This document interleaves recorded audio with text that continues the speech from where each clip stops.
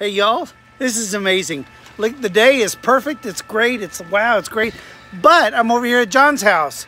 John, um, what's your last name? Armstrong. Armstrong. What? Of course, John Armstrong with his parents. But I wanted to show you all this. We are over here. We're just going to eat uh, like a cookout. And let me show y'all this. Oh my word. Y'all, this is a, I guess the brand is not on there, whatever the brand is. Nostalgia. Nostalgia. This is, that's the brand. Yeah. Oh, nice. I was thinking, yeah, nostalgia, cool. This is an actual ice cream maker. You see what it's doing down there? It's spinning. Well, Mrs. Armstrong, John's mom, uh, John, John's mom, was just putting um, rock salt. I think that's what she said, right? Rock salt? Yeah, yeah, rock salt in there. Ice cream salt. Oh my gosh, yo, this is crazy! So fun! Woo!